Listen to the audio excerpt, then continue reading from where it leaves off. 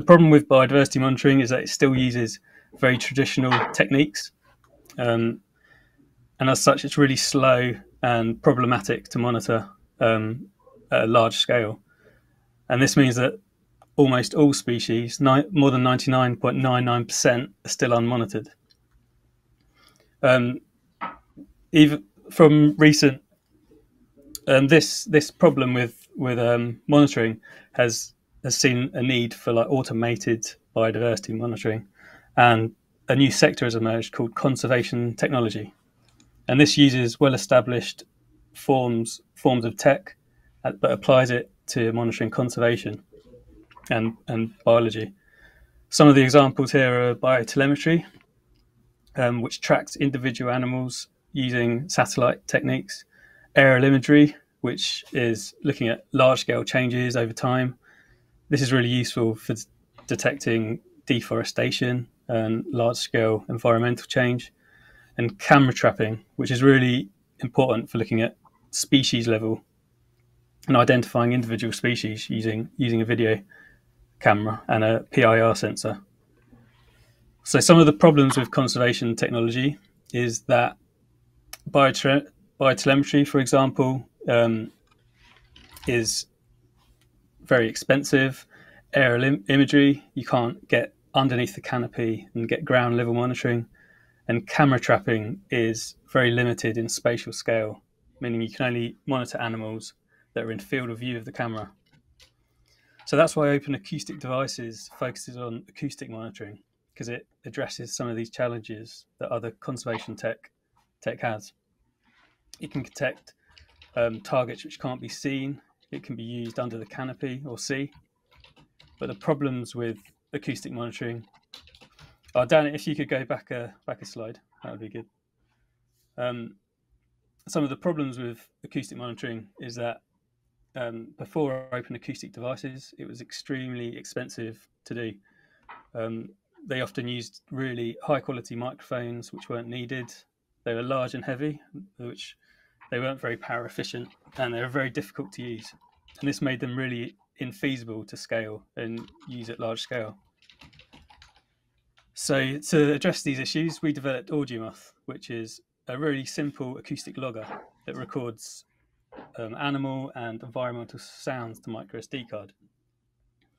The device um, records audio and oh, if you can go back back again, Danny, still on the. Um, yeah, the device records. Um, I'll, yeah, Danny, I'll, I'll say next slide. Um, okay. You know. Perfect. Um, it records. It records um, audible and ultrasonic sound, and samples about 384 kilohertz which means it can record um, even bat ultrasonic calls. The device um, is called AudioMoth after the flying insect, the moth, which is known to have the um, most extreme hearing out of any animal in the world. Um, it can some, some species of moth can listen up to 300 kilohertz, which uh, helps them avoid bats when they're feeding. Um, the device is runs on AA batteries, three AA batteries, um, and is really simple to configure. Um, it's minimal in, in its construction and it's minimal in functionality as well. But this minimalism creates a a um, a very flexible device that can be used in multiple scenarios. Um, we like some of the examples of the um, scenarios is that it can be used as acoustic logger. You can run detection algorithms on the device. The whole device can be converted into a USB microphone, which means you can change make the, the device used on your on your Android phone as a real-time bat detector. Um, we AudioMoth originated from a, a research project, um, which was a collaboration, PhD collaboration between myself and co-founder Peter Prince. Um, next slide, slide, please, Danny. So from the very start of our of our PhDs, we knew very little about conservation and the users that would use our product. So it was really important very early on to immerse ourselves in conservation work and around conservationists. Um, we even joined a conservation club where we joined weekly meetings to learn about how conservationists and users monitor and use the device. Um, we this picture um, is one of our first first ever deployments where we deployed our first prototype, and it was um, Central America. Um, behind me there is is a conservation scientist called Evelyn, and she studies jaguars. And you can see in front of me there there's a there's a, a poster that says no hunting, no mining, and no logging. Um, and it was quite shocking to go out into the field for the first time. Um, next slide, Danny. Oh, sorry. Um, I think you already changed slide. If you if you go back a slide, Danny. Um, so as we walked through the forest, we came across evidence of, of hunting. So that first picture is a, a machete carved arrow, and as we followed these arrows, we followed the hunting trails um, we came across loads of shotgun shells and eventually came across camps and hunting platforms. These hunting platforms were built underneath fruit trees, and hunters would, would sit there and wait for animals to go underneath and shoot them as from at close range as the animals would feed on the on the dropped fruit. Um, next slide.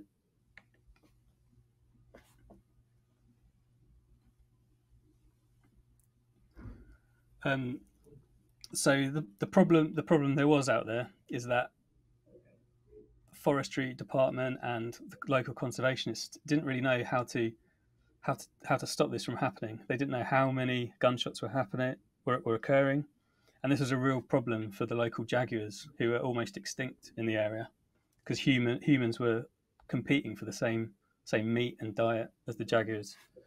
So um, acoustics is a really good way to um, monitor gunshots, as you can as you can detect the um, shotgun and, al- and um, create an algorithm to run on the device.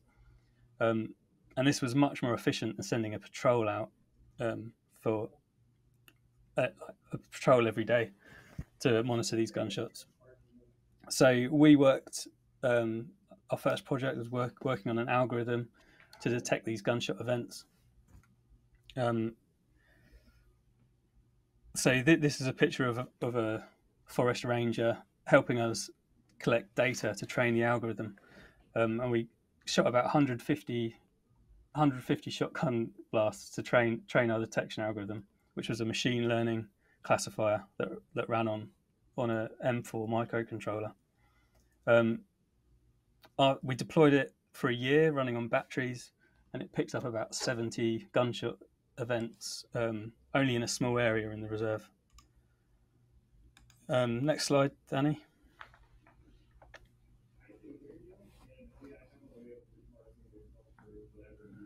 Back in the UK at the same time, we were looking at this species of cicada called the New Forest cicada. And this was the only native cicada in the UK. Um, it hadn't been seen since the 1980s. And researchers um, that that listen to it um, rely on their hearing, and this this species of cicada call it 14 kilohertz. So the aging scientists that were that were monitoring it um, start, started to lose lose the ability to um, their frequency their frequency response to their hearing started to go, and they couldn't hear this species anymore. But with with AudioMoth and a MEMS microphone, you can actually capture this this sound and start flood, flooding the nat- nature reserve with devices. And you can actually listen and um, start collecting data for this this um, this species. Um, next slide, please, Danny.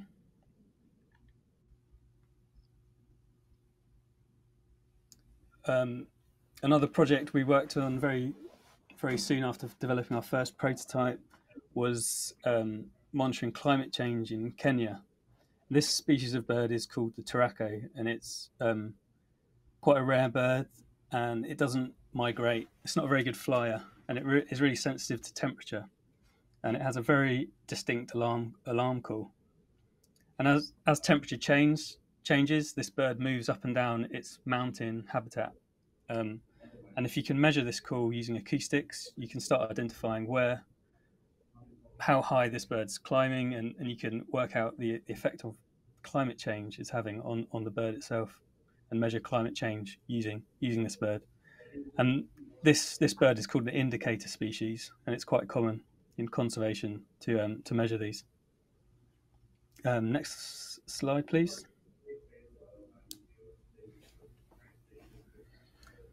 Um, and the last, the last um, project we worked on was um, the Cuban greater funnel-eared bat, and these projects were still very early on in the first first few months, first years of, of developing our device.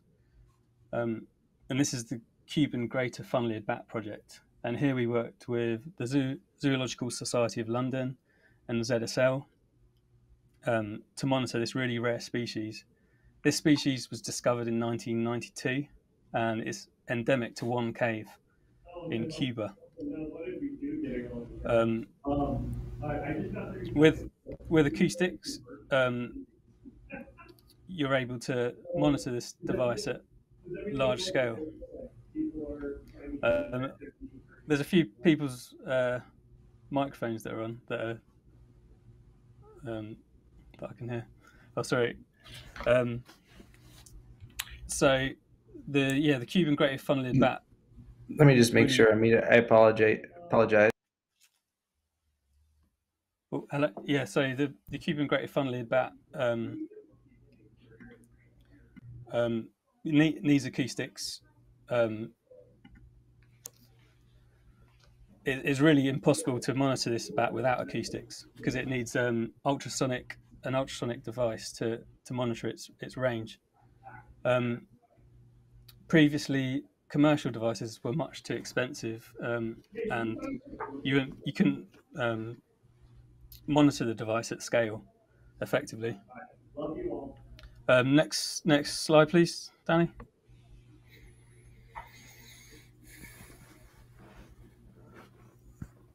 Um, so in the very first year, we started to build up uh, a user profile working with all these conservation scientists. Um, and we built this profile to, to create a list of user requirements. So what we found is that they're biologists, ecologists, local communities. They often had low funds to buy equipment and little electronic experience. Um, and they needed to have large scale projects to, to create more impact and so they can actually change policy with their research. And they're quite practical and had a DIY culture. Um, next slide, please.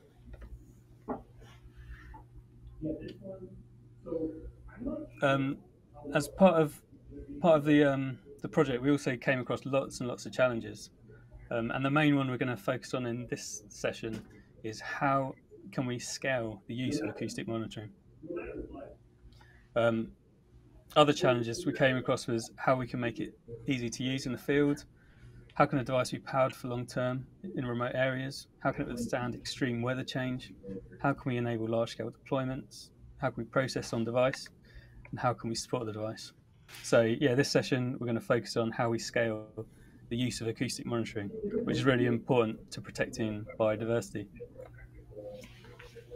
So, we went we went and looked at the collaborative economy, um, and the collaborative economy is um, how consumers and creators share resources um, to address their needs and wants. And part of the collaborative co- economy is the open source movement. So, if we made our design files openly available, it means more people can start um, using our device and creating it. Um, it's a good way to make our instructions available, and they're, they're written out really, really well in open source open source nature. Um, we also took inspiration from the open source hardware movement um, with devices such as Arduino and Raspberry Pi and made our hardware very minimal in construction. Um, and this made it easier to build. Next slide. so the DI approach was great because it means people could build the device for free. But what we found um, in reality after deploying, this is us deploying our device in Central America, it's not very practical at scale. Um, it always required us to go out into the field with the conservation scientists and build the device for them. For them, um, and it, there's real barriers to entry for conservation scientists because um, they lack the knowledge, the electronic design knowledge. Um, next slide, please. So, because it because it's so hard for conservationists to build hardware themselves because they lack they lack the um, the educational ex- previous experience, we decided to look at turnkey manufacturing. And one of the one of the companies we we found was called Circuit Hub, um, and they so turnkey manufacturing is is when you order something, um, electronic product, and it comes comes ready to use. Um, now, this, this is really useful as conservation scientists could order the device with a click of a button. Um, next slide, please.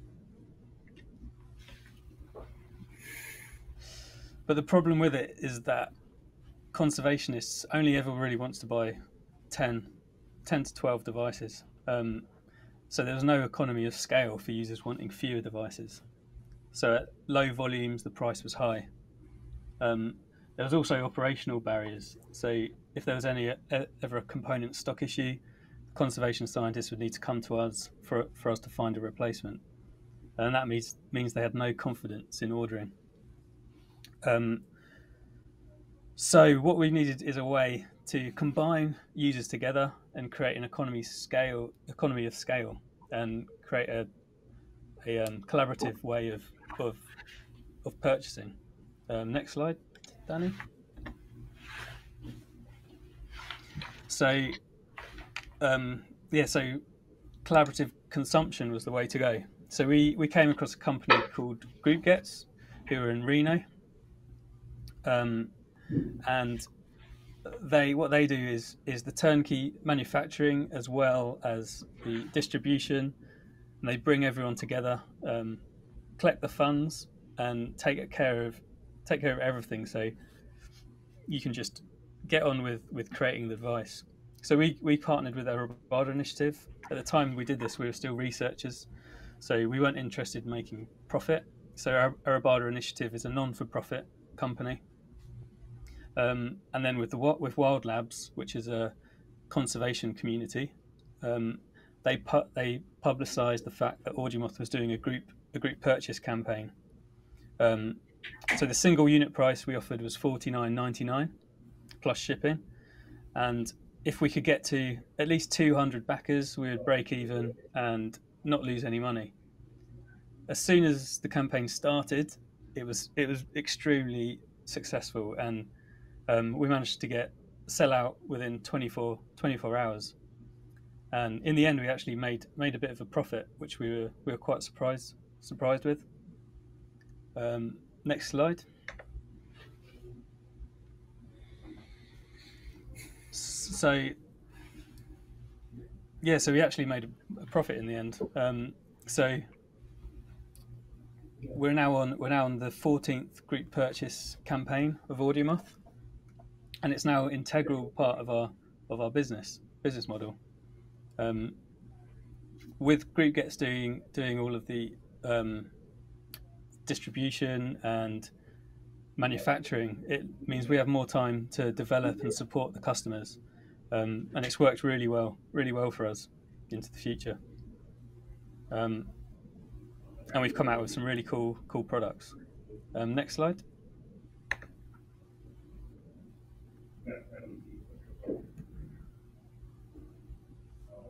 Um, so since since um, using GroupGets and the start of our research, we, we've now delivered about over 30,000 Audiomoths worldwide. We've discovered new species in Brazil, some bush, bush cricket, which um, use acoust, um, acoustics to communicate, and they were identified as new species based, based on the spectrogram that they, they call that. Um, Audiomoths have been used in national bat, bat surveys um, which has never been done before. Um, people use AudioMoth for global biodiversity inventories, and there's currently one going on around the world now, looking at um, biodiversity around the world. And because AudioMoth is so low cost and easy to use, it's really really useful to do citizen science projects. And it's the first some of the first citizen science acoustic projects have been used um, have been run using AudioMoth. It's also been widely adopted by NGOs, for profits, and businesses. And to date, we've had about 259 citations of some of the research research we published. Next, next slide, please. So, with, with the support of GroupGets and all the campaigns that continually run, we we're always developing new products, and um, some of them are the un, un, underwater acoustics case, which converts AudioMoth into an underwater device that's capable of recording sounds down to 30 meters. Um, we've deployed it for two months, um, solid, without having any leaks, and we've actually recorded the first orca whale um, back in South Africa, um, which is quite a big, big finding recently. Um, we've also produced AudioMoth Dev, which is more of a development board, and it allows allows you to connect different things to AudioMoth, like um, GPS modules. Our, our, GPS module, we've developed a very own one, which can localize gunshots now to within 0.1 meter, and we've also developed Micromoth, which is a really small version of AudioMoth, which can be used for animal born monitoring on, on tags. Um, next slide, please. So, what have we learned in this in this session and, and during our time developing AudioMoth? Multi, multidisciplinary approaches help engineers solve real-world problems. It's really useful to immerse yourself with users and the product, evaluate and iterate. It's good to grow alongside your user community and learn from them. And it's good to design for your user, but also to design for the scale of your problem. And although, although, to, although traditional business models are, are great um, for technical design and product design, it's good to look look beyond commercial um, traditional business models and embrace approaches from the collaborative economy. Um, next slide, please. So yeah, if you want to learn more and about how we address some of the other challenges, visit our booth. I'll be around for the next um, hour or so before um, dinner in the UK. Thanks a lot.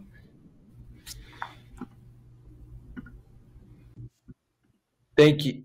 Thank you so much, Andy. And I apologize for the technical difficulties there. Uh, we, we, we, weren't prepared to present, but we worked it out. And uh, we're going to keep working it out. And thank you for the amazing story. Um, and again, if anyone would like to visit Andy for the next hour, he'll be at his booth, which is the one with the really cool big tree and the audio math, uh, AudioMoth attached to the tree. So thank you so much. Have a good one. Thanks a lot.